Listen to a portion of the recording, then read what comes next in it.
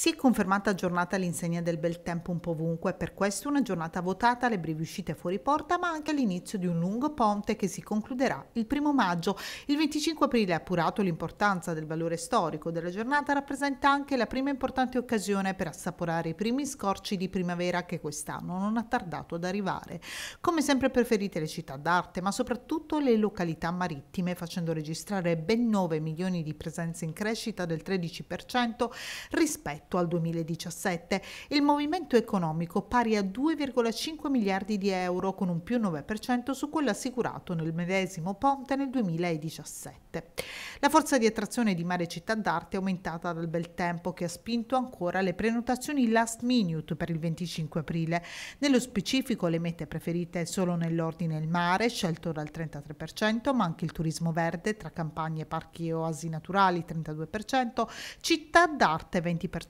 e poi montagna e laghi. Con le previsioni di bel tempo un italiano su tre ha quindi deciso di mettersi in viaggio nel lungo ponte della festa della liberazione per andare in vacanza, raggiungere parenti e amici, partecipare a concerti, manifestazioni o semplicemente per fare una gita fuori porta in giornata. È quanto emerge dall'analisi della Coldiretti X divulgata in occasione del 25 aprile che evidenzia, dopo un lungo periodo di incertezza climatica, la voglia di evasione degli italiani. Tra questi in viaggio ben 7 milioni milioni, precisa la Coldiretti, hanno colto l'opportunità di fare una seppur breve e vera vacanza dormendo almeno una notte fuori casa, spinti dal sole e dal caldo sopra la media. Molto gettonati gli agriturismi, dove oltre 800.000 gli italiani e gli stranieri che hanno scelto di sedersi a tavola durante il lungo ponte per cogliere l'opportunità di trascorrere una giornata lontano dalle città, secondo Campagna Amica. Molte delle 23.000 aziende agrituristiche presenti in Italia, conclude la Coldiretti, si sono attrezzate con l'offerta di alloggio e di pasti completi, ma anche di colazione al sacco